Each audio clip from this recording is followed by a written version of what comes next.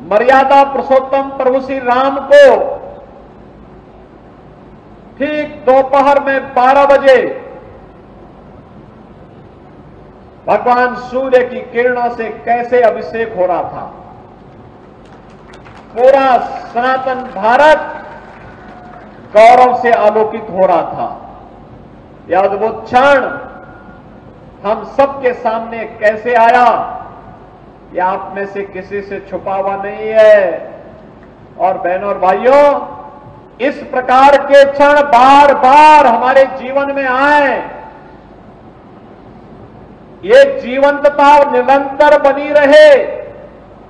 इसी का आह्वान करने के लिए आज गाजियाबाद संसदीय क्षेत्र में आप सबसे संवाद करने के लिए मैं आपके बीच आया हूँ।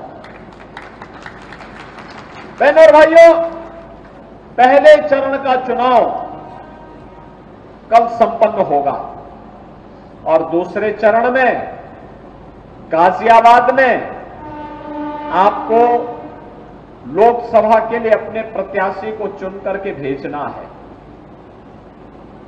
पूरे देश के अंदर आज एक ही लहर है, एक ही स्वर गूंज रहा है और उत्तर, दक्षिण पूर्व पश्चिम, मुझे इस दौरान लगभग पाँच से छह राज्यों में जाने का अवसर प्राप्त हुआ। और बहनों और भाइयों, जो जनता की आवाज़ है, वह जनता की आवाज़ आज देश की आवाज़ बन रही है। और वह आवाज़ है कि फिर एक बार, फिर एक बार, फिर एक बार, अब की बार अब की बार। बहन और भाइयों, ये अब की बार मोदी सरकार और अब की बार 400 पार का जो ये नारा देश के अंदर गूंज रहा है वैसे ही नहीं गूंज रहा है। इसके पीछे पिछले 10 वर्ष के अंदर हुआ परिवर्तन है।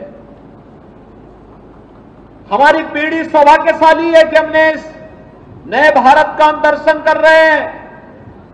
इस नए भारत में जिस नए भारत में आज दुनिया के अंदर भारत का सम्मान बढ़ रहा है जिस नए भारत की सीमाएँ सुरक्षित हैं, आतंकवाद और नक्सलवाद नियंत्रित हुआ है, अराजकता नियंत्रित हुई है, बेटी और व्यापारी सुरक्षित हुआ है। बड़े बड़े इंफ्रास्ट्रक्चर के कार्य हो रहे हैं। Highway railway metro IIT IIM AIIMS triple IT world class universities Delhi से मेरठ के बीच 12 लेन का हाईवे बन चुका है। रैपिड रेल पर कार्य युद्ध स्तर पर चल रहा है।